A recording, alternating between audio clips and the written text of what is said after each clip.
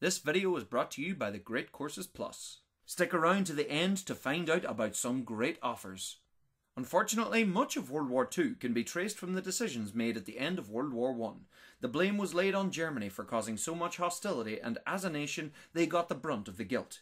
In the closing days of World War I, the Germans ousted Kaiser Wilhelm and became a republic, but they went deep into a depression as a nation. It was not helped by the global financial crash of 1929. Germany's economy collapsed, currency was worthless. Amidst this chaos, an Austrian politician would rise up to give the nation hope. His name was Adolf Hitler.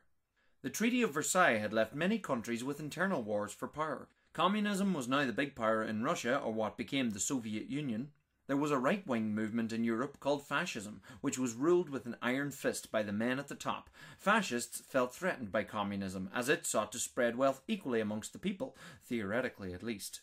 Hitler was a fascist and became the leader of the National Socialist Party, or the Nazi Party, in Germany. Don't let the name fool you, just because it has socialism in the title doesn't make National Socialism left wing. Hitler promised the people of Germany that they could once again be the great and powerful empire they once were, the Holy Roman Empire being the First Reich, the 19th century German Kaiserreich being the Second Reich, and Nazi Germany would be the Third Reich. As Hitler was voted into power in the 1930s, he made anti Semitism politically correct, literally. He promoted the myth that the Jews cheated the country at the end of the First World War by creating the German Weimar Republic and forcing the armistice. As the years went on, the Nazi Party created a notion of Aryan superiority and that this race of people was better than the rest. In their quest for ethnic perfection, they sought to rid themselves of many ethnic minorities, such as Romani Gypsy, the disabled, homosexuals, Jehovah's Witnesses, and especially the Jew. Germany allied themselves with the ambitious nation of Japan, which was already conquering East Asia. As well, Germany found allies in the fascist state of Italy, led by Benito Mussolini, and thus formed what became known as the Axis powers. After winning the war, Hitler planned to rebuild Berlin and rename it Germania. The central building would be a great victory dome which would dwarf the Reichstag. Gradually, rights were taken away from the Jews, and after the start of the war, they were forced to display themselves as Jews with a yellow badge. The infamous Kristallnacht, Night of Broken Glass, saw the destruction of much Jewish property in Germany. Germany had shrunk after World War One. As part of the Treaty of Versailles, Germany was not allowed to put weapons in the Rhinelands bordering France. The trickle to war began as Hitler began to arm this area again. They then entered into Austria, many Austrians happily joining the Third Reich. Then they invaded Czechoslovakia, the first mostly non German speaking country for them to invade. This sent alarm bells throughout the rest of Europe. France and Britain saw Germany as a serious threat. British Prime Minister Neville Chamberlain warned Hitler not to invade Poland. Hashtag appeasement. Despite having a deep hatred of each other, Hitler and Soviet leader Joseph Stalin shared a desire to invade Poland, who had re-emerged on the map after World War I. The two leaders made an agreement, and on the 1st of September 1939, Germany invaded Poland from the west, forcing Britain to declare war on Germany. A few weeks later, the Soviet Union would invade Poland from the east. The German invasion of Poland was swift, using a very effective tactic called blitzkrieg, lightning warfare. They made deep, fast attacks with bombers and tanks, followed by the soldiers, to secure the area. The Soviet Union invaded Finland in 1939. The Finns very effectively fought against the Soviet invasion. They were partially so successful against the Soviets because they were highly skilled at cross-country skiing. That and the Russians didn't have any snow camouflage. During the Winter War, Soviet Foreign Minister Vyacheslav Molotov broadcast propaganda about Soviet aircraft dropping food supplies on Finnish towns. They were actually dropping cluster bombs. The Finnish sarcastically nicknamed them Molotov breadbaskets. So when they developed the petrol bomb to fight against the Soviet tanks, they them Molotov cocktails, a drink to go with the food. One notable Finnish sniper was Simo Häyhä, nicknamed White Death, was reported to have killed 505 men. The Soviet Union also invaded Estonia, Latvia, and Lithuania and held them after the war. After conquering Poland, Denmark, and Norway, Germany turned west. The German army pushed through the Low Countries quickly and efficiently. France and Britain moved through Belgium to meet them, but the German forces were too quick. The surviving forces staged a mass evacuation of mainland Europe from Dunkirk. France quickly surrendered. Hitler mockingly accepted the surrender. In the same train carriage, the Germans ended the First World War in defeat. Britain's saving grace was that it was an island. The Germans planned an invasion, but Britain had superiority in the sea and air, forcing the Germans to cancel the invasion. But they surely bombed the cities of Britain. Ireland, while only a fledgling nation, remained neutral during the war, besides allowing Britain to use Irish airspace in the Donegal corridor. Hitler had an arrangement with Stalin that he would not invade the Soviet Union so long as they kept out of the war. This truce wasn't to last, as both men had nothing but contempt for each other's ideals. Eventually, Hitler decided to invade the Soviet Union, and the first few months of the campaign were hugely successful for the Germans. They killed and starved millions of Soviets as they pushed deep into Russia. The Soviet Union was to lose over 20 million people in this war, the most out of any nation. The Soviet army at the beginning of the invasion was poorly organized. The Soviet Union was seen as an uncivilized country to the Germans. Ultimately, only miles from Moscow, it was the winter that doomed the Germans.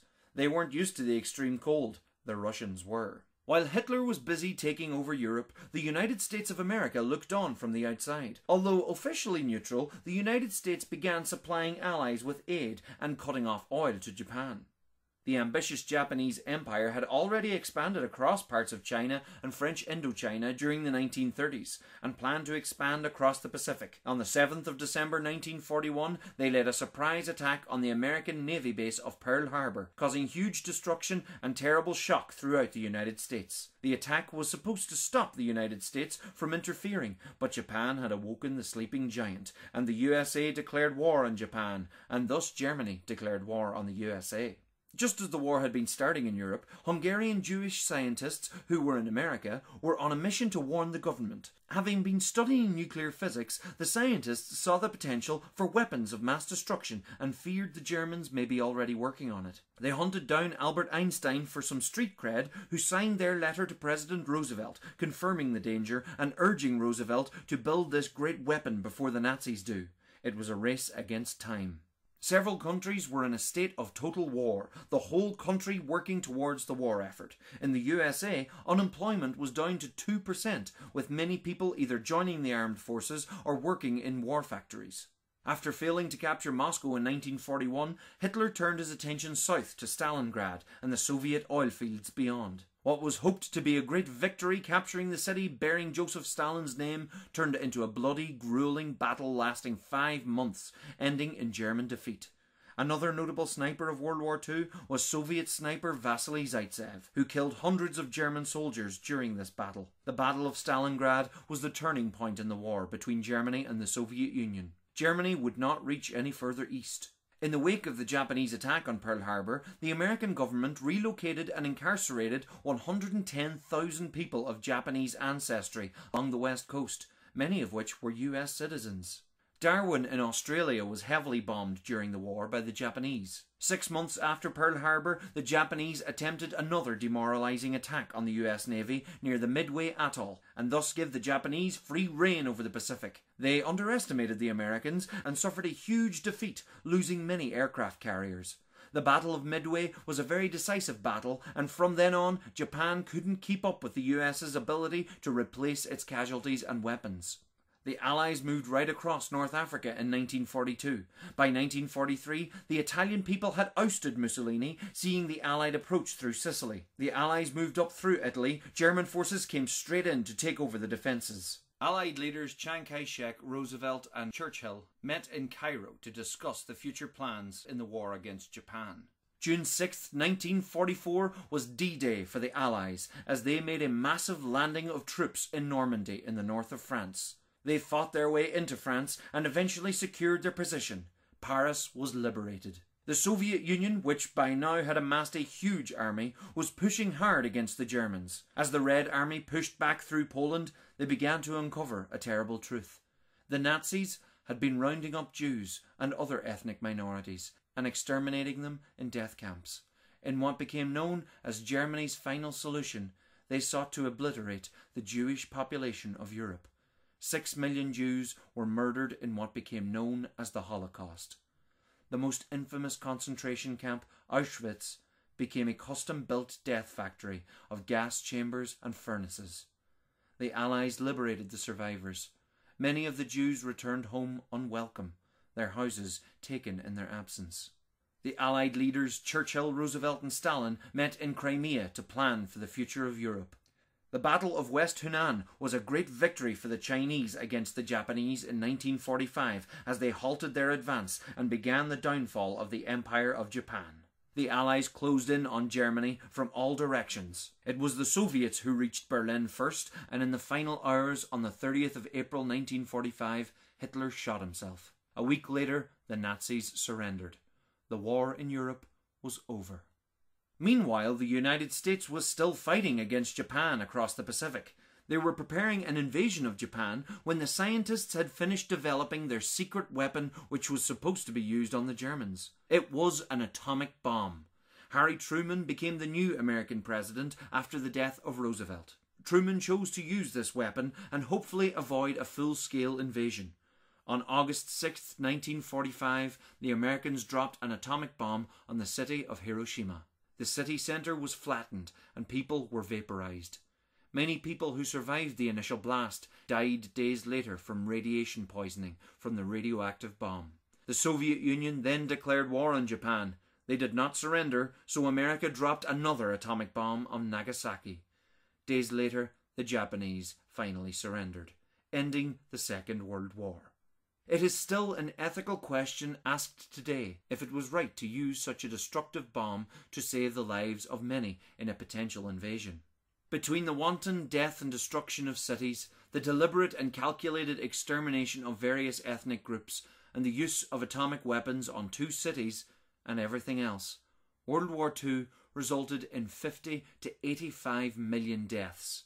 It was and still is the deadliest conflict in human history. Once again, the world was a changed place after this war. Many of the Nazis were tried and executed for their war crimes. Germany was occupied and divided into East and West. The map of Europe had changed once again.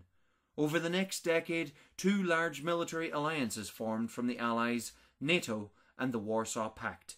Differing ideals between these alliances would set the scene for a long period known as the Cold War the United Nations was set up to try and prevent another world war. So far, another world war hasn't happened yet. Let's keep it that way. It is easy to look back and see the trickle down signs that led to the various catastrophes of World War II. Growing acceptance of discrimination against minorities, toxic nationalism, looking to the strong man to fix all your problems, the ignorance and naivety that a war as bad as World War One could never happen again. Times change. People change.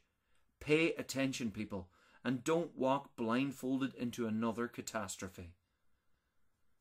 This video was brought to you by the Great Courses Plus. The Great Courses Plus is a subscription on demand video learning service with top notch lectures and courses from top professors from the Ivy League and other great universities globally, and experts from places like National Geographic, the Smithsonian, and the Culinary Institute of America. Through the Great Courses Plus, you can get unlimited access to a huge library of over 11,000 video lectures about anything that interests you science, math, history, literature, or even how to cook, play chess, or become a better photographer.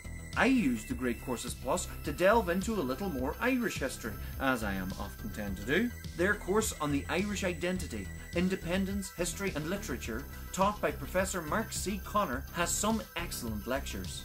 I'm nine lectures in, and I'm still only cracking the surface of this great course. The Great Courses Plus is giving viewers a great offer of a free trial. Show your support for my channel by subscribing to the Great Courses Plus. Please visit thegreatcoursesplus.com forward slash John D. Ruddy. Click on the link in the description below. Don't forget to subscribe, support us on Patreon where you get access to early videos, unseen artwork and live streams with me. Check out my second channel, John D. Ruddy Does Stuff, where I do stuff, like talk about film, TV, video games and other random bits and pieces. Follow me on Facebook, Twitter, and Instagram. Check out johndruddy.com for loads of updates and merchandise.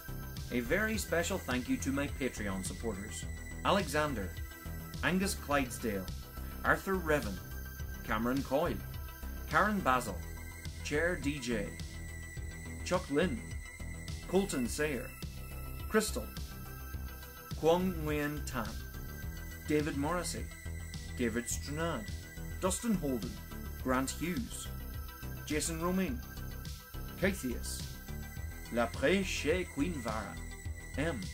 Mario A. Gallardo, Marcus Bucher, Martin Hunenwag, Maxago, Mike Wise, Mixnaja1414, Monday Rico, Mr. Magnificent, Mr. Easy Play 2, Myth Nguyen, Ollie Course, Rocket Wrench, Ryan Ilano, Sadie, Simon Schrader, Sina Yegane, Soars, Stephanie Lenz, Tan May, Theophilus Kilmunis. I still love that name. Thanks again for watching, folks.